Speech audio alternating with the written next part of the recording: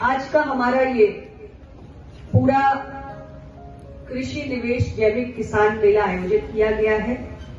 क्षेत्र के कोने कोने से चलकर यहाँ पर उपस्थित मेरे सभी जागरूक किसान भाइयों और बहनों और हमारे मीडिया के साथियों, आप सभी का आज के इस अवसर पर मैं बहुत बहुत अभिनंदन करना चाहती हूँ आप जानते हैं कि पूरे देश में वर्षा के पैटर्न में एक परिवर्तन आया है। और इससे जो हमारी खेती बाड़ी का कार्य है, वो काफ़ी हद तक प्रभावित हुआ है। भारत सरकार ने भी इसका एक आकलन किया है। पूरे देश भर में कौन से ऐसे प्रभावित क्षेत्र हैं? और उनके लिए विशेष उपाय किए जा रहे हैं। हमारा देश खाद्यान्न में आत्मनिर्भर है।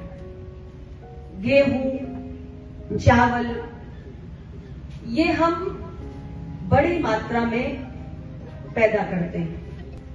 पहले चीन में सबसे ज़्यादा आबादी हुआ करती थी, लेकिन आज दुनिया की सबसे बड़ी आबादी भारत में है। चीन भी हमने पिछाड़ दिया।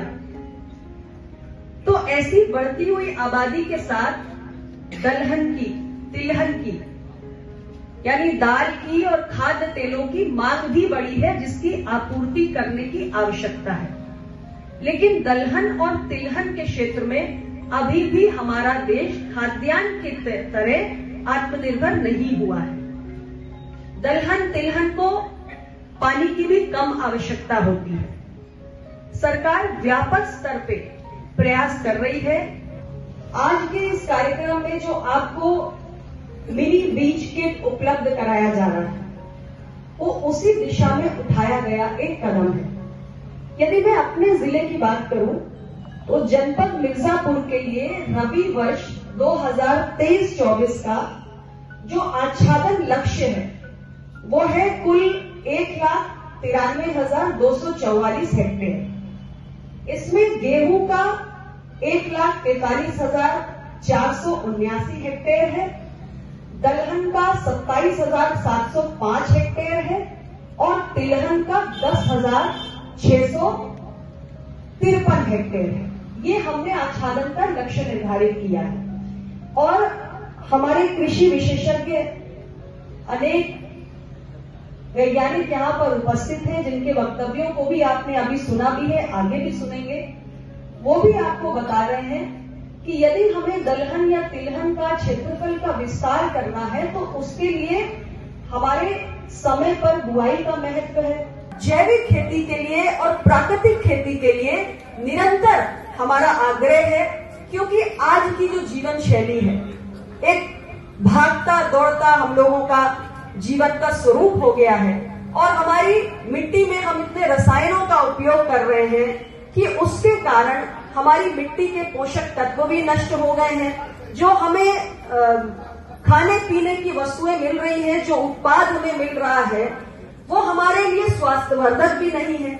और इस कारण बहुत सारे गंभीर रोग हो रहे हैं। मैं क्षेत्र में रोज निकलती हूँ कई परिवारों के बीच जाती हूँ और मैं बड़े दुख के साथ कह रही हूँ कि मेरे अपने जनपद में मैंने देखा है, कैंसर जैसे गंभीर रोग से बहुत सारे लोगों की असामयिक मौत हो रही है। ये एक उदाहरण है। ऐसी न जाने कितनी गंभीर बीमारियाँ हैं, गंभीर रोग हैं, जिनसे हम ग्रस्त हो रहे हैं अपनी खराब जीवन शैली के कारण और जो हमारा खान पान दूषित हो चुका है उसके कारण। इसलिए जो हमारी प्राचीन पद्धतियाँ थी, जब हमारे पास रासायनिक उर्वरक नहीं हुआ करता था, जब हम प्राकृतिक खाद का उपयोग करते थे, जब हम जैविक उर्वरक का उपयोग करते थे, खेती के जैविक तौर तरीकों का हम उपयोग करते थे तो हमारा अपना शरीर भी स्वस्थ रहता था, हमारी मिट्टी भी स्वस्थ रहती थी। आज मिट्टी ही प्रदूषित नहीं है, जल भी प्रदूषित है, वायु भी प्रदूषित है। तो कहीं ना कहीं उसी मिट्टी, जल, वायु के बीच में हम साँसें ले रहे हैं। हम अपना जीवन यापन कर रहे हैं। इसे शुद्ध रखना, अपने अनुकूल रखना अत्यंत आवश्यक है। इसलिए जैविक खेती के तौर तरीकों को भी हमें अपनाना ज़रूरी है, जिससे हम मिट्टी के पोषक तत्वों को भी बनाकर रख सके, मिट्टी के शरण को भी रोक सके।